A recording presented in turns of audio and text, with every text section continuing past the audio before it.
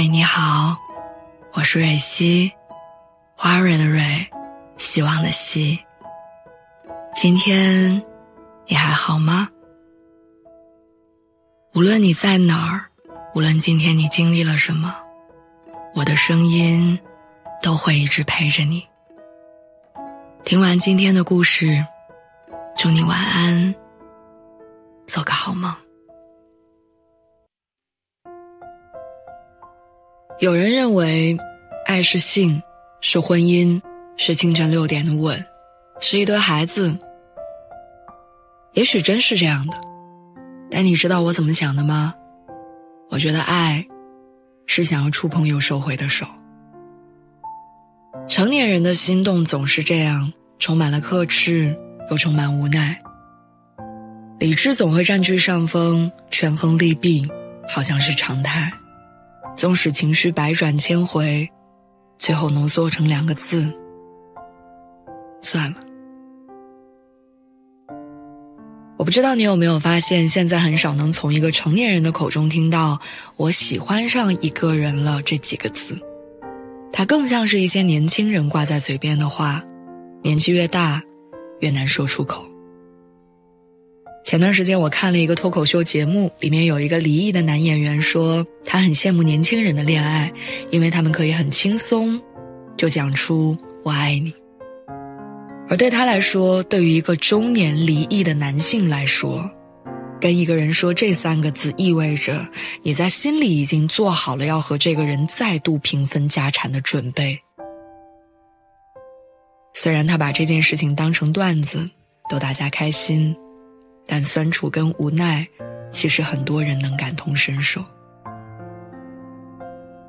好像到了一个年纪，就缺少了年少时不顾一切的满腔热血，没有勇气去戳破暧昧的窗户纸，更没有信心走进另外一个人的世界，跟他相伴到老。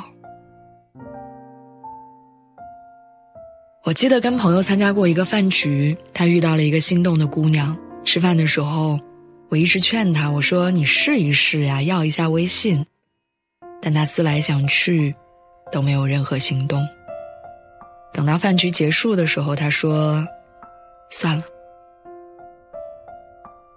我知道他不是不想，他是不敢，因为上一段爱情结束的很糟糕，两个人谈了三年多没有结果，在那段感情当中，似乎已经被折磨的伤痕累累。也似乎消磨掉了他所有的心力。所谓“一朝被蛇咬，十年怕井绳”，在成年人的世界里，有太多这样的无奈，而心动在现实面前，总是不堪一击。年轻的时候，我总觉得算了是一个非常懦弱的想法，它意味着不敢尝试，不想努力，甚至不相信自己。但现在我突然意识到，这句算了，有时候恰恰是对自己和他人的负责。当大脑运算得出“算了”这个结论的时候，其实是因为你自己打心底里对这段感情没有把握。比起不确定的未来，你似乎更需要一个笃定的现在。就像早上等公交的时候。没吃饭的你突然看到不远处有一个早餐车在卖包子，而这个时候公交车正在朝你驶过来，即将到站。这个时候你会选择上车还是去买两个包子？你会想，算了吧，对吗？一个花钱就一定能买到的东西，你都选择算了，更何况一个不确定的人呢？